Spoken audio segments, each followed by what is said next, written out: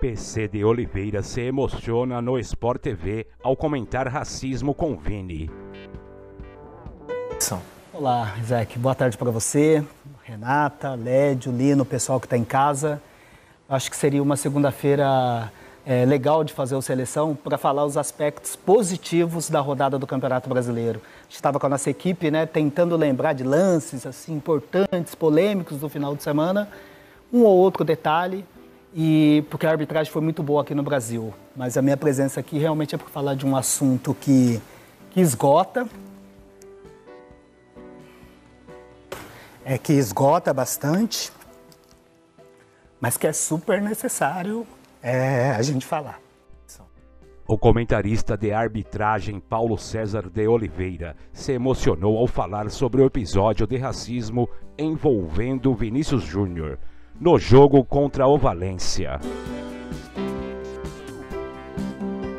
Com voz embargada, PC Oliveira falou sobre o caso com Vini Júnior.